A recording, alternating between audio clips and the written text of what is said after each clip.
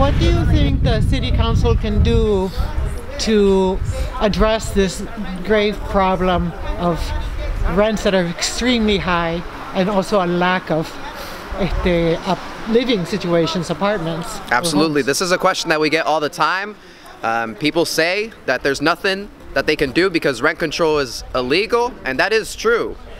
We're asking them to make it legal. Yes. We elected them. They represent us, Yes. and they need to go to the highest bodies of Yes. Massachusetts um, governance and tell people that we want rent control and that we'll fight to the very end with or without them, preferably with them, Yeah. They Perfect. say our vote counts. They need to do what they're supposed to do. They need to support do us. what they're supposed to Exactly. do. They Exactly. need to support us and do the right thing and not rip us off. Yes. and shove us in a two-bedroom apartment when you got five kids and no means of rent because rent is so high 1500 16 1700 how is a single mom supposed to do that who is on welfare and ssi how are you supposed to And do how- that?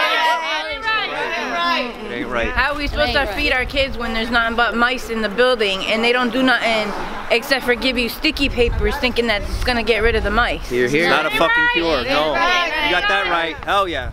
Are you all gonna go into? Perdóname. You go. Absolutely. They eat my mom's food and then they're supposed to give you um, Reimbursement. reimbursements on the food that their mice eat because they don't do their job as a, as a landlord We Yo. all get sick from the mouse shit.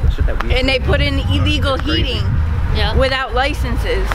without per- permits from the gas company Are you all gonna go into the public safety committee? Yes, Yeah, we're all going. And you're going at the public comment. You're going to speak. Yes. Yes. Okay. I think it's important that everyone tells their story.